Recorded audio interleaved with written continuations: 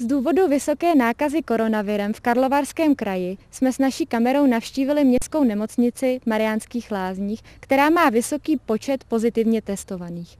Vyjádření k této situaci nám poskytla primářka oddělení doktorka Jitka Tomešová. Zajímalo nás, kdy se nákaza koronavirem v Mariánsko-lázeňské nemocnici objevila poprvé a jaký je aktuální počet pozitivně testovaných. První pozitivně testovaná byla eh, z personálu v rámci pravidelného screeningu a bylo to eh, v první polovině dubna. Momentálně máme 34 pozitivních pacientů na lůžkové části a 14 pozitivních v eh, personálu. Městská nemocnice v Mariánských lázních zajišťovala testování zdravotnického personálu od poloviny března, a to prostřednictvím soukromé laboratoře Tilia Laboratories, díky kterému zachytili pozitivum u jedné ze sester. Ta následně zůstala v domácí karanténě.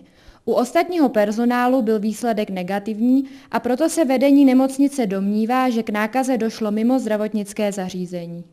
Při zjištění první pozitivně testované sestry městská nemocnice kontaktovala krajskou hygienickou stanici a následovala veškerá jejich doporučení.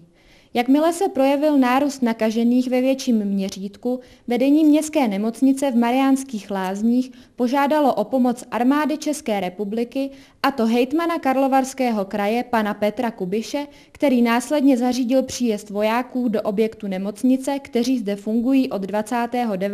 dubna. Eh, máme k dispozici celkem 15 vojáků, kteří pomáhají na lůžkách následné péče, dělají eh, běžnou činnost, eh, hygienu, uklidový práce, pomoc s přesunem pacientů a, a další jednotka je určená na dezinfekci prostor v nemocnici.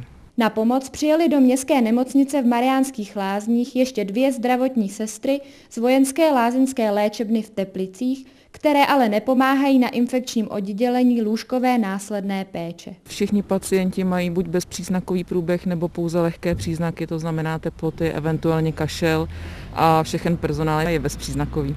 A jaký vývoj onemocnění u pacientů primářka oddělení následné péče očekává? Doufáme, že samozřejmě bude s lehkými příznaky nebo bezpříznakový, ale to samozřejmě musíme počkat a uvidíme. Městská nemocnice požádala o prodloužení výpomoci od armády České republiky a momentálně je v jednání, že by měla v objektu setrvat do 24. května a být nadále k dispozici jak pacientům, tak zbylému zdravotnickému týmu městské nemocnice.